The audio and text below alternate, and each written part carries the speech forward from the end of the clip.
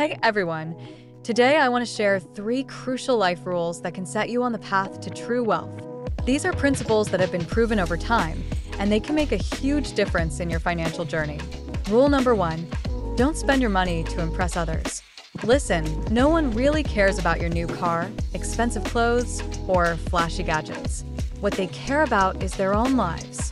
Focus on what truly matters your financial security and long term goals. When you invest in your future, you're building a foundation for lasting success. Rule number two working hard is important, but working smart is crucial to success. It's not just about the hours you put in, it's about making those hours count. Discover ways to leverage your skills, automate where you can, and make strategic decisions that boost your effectiveness. Remember, it's not just effort that drives success, it's efficiency and strategy. Rule number three always invest in assets. Here's a tip your home isn't an asset if it's draining your resources. True assets generate income or appreciate over time. Consider stocks, rental properties, or businesses.